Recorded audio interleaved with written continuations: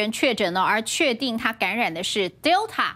毒理学专家赵明威他提出了两点的质疑，他认为女研究员她是被阿法的老鼠咬到，却得了 Delta，这怎么分析都觉得怪怪的。而且呢，实验室的防护严谨，还能够确诊，这也是凸显的是 SOP 可能有漏洞。另外，女研究员的男朋友筛检是阴性，也非常离奇。张明威说，他真想知道她男朋友打哪一种疫苗。实验室人员进入 P 三实验室都要全副武装，但中研院女研究员却疑似在实验室染疫，整个案件疑点重重。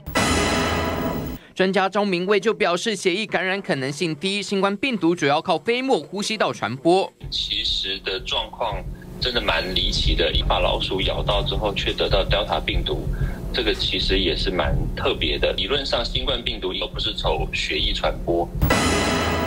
第一个，这个病毒就不对。如果那个老鼠是英国猪的的病毒，而它感染德尔塔猪，那这两件事情应该是不相干的。针对这起事件，专家纷纷点出意见。中研院的何美香就表示，可能是在脱隔离衣时的疏忽。前疾管局副局长施文仪表示，除了穿脱防护衣，病毒可能粘连眼、口、鼻，处理废弃物不小心也可能让病毒有机可乘。他的这个隔离衣，或者是他的某些这个部分。它可能有有破洞。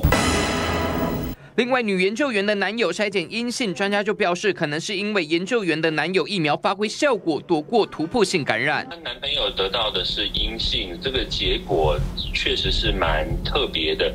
但女研究员两次被老鼠咬，是否有通报主管，以及出现症状却自行就医，整个通报机制出现大漏洞，到底哪个环节出了问题？指挥中心势必要尽快厘清。记者黄义俊、杨宗燕台北报道。